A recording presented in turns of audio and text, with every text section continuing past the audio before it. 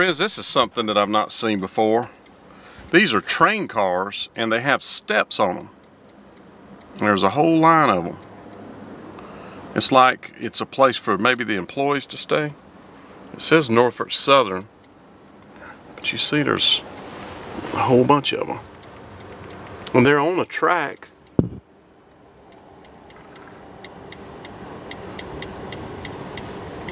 And it says something on the the cars that I'm glad that it says, but I don't know why it does. It says do not hump right there on the car.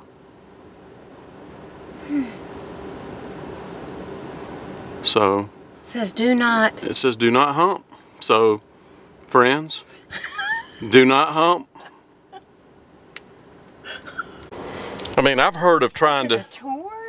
No, it's not a tour. It's just a bunch of train cars. But you know, I've heard of uh, what's that? Sexual harassment trying to to uh, cull that. But I don't think you got to right "do not hump" on every one of the train cars.